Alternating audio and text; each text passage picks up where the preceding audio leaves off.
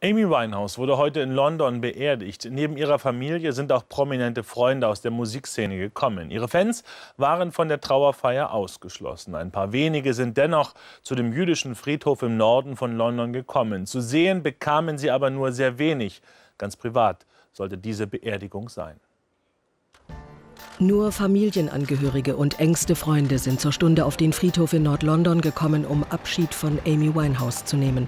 Auch Musikproduzent Mark Ronson, der die meisten Hits von Amys Erfolgsalbum Back to Black produziert hat, erweist der großen Sängerin die letzte Ehre. Nicht erschienen sind Amys Ex-Mann Blake Fielder Civil, der keinen Hafturlaub bekommen hat, und Greg Travis, der letzte Mann im Leben von Amy Winehouse. Der 35-Jährige meint, die Sängerin war in den Tagen vor ihrem Tod voller Leben, habe jeden Tag Sport und Yoga gemacht. Auch bei der Obduktion konnte noch keine eindeutige Todesursache festgestellt werden. Das endgültige Ergebnis soll frühestens in zwei Wochen feststehen. Doch nahestehende Bekannte sprechen von systematischer Selbstzerstörung. In den letzten zwei bis drei Wochen ist sie dreimal zusammengebrochen. Sie hat bis zur Bewusstlosigkeit getrunken. Aber ich glaube, das Ende fing schon viel früher an, nämlich 2005, 2006. Damals fing sie mit den wirklich harten Drogen an.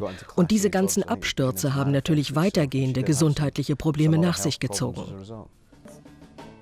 In der Bremer Talkshow 3 nach 9 kündigt Moderatorin Amelie Fried die damals noch ganz unbekannte 20-jährige Amy Winehouse so an, wie wir sie gerne in Erinnerung behalten wollen. Unverbraucht, neugierig auf die Welt und mit umwerfendem Talent.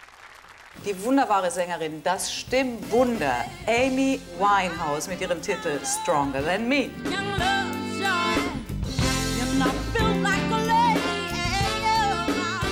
Auch die Fans wollen der großen Sängerin die letzte Ehre erweisen. Dazu soll angeblich bald noch eine Trauerfeier stattfinden, heißt es aus London.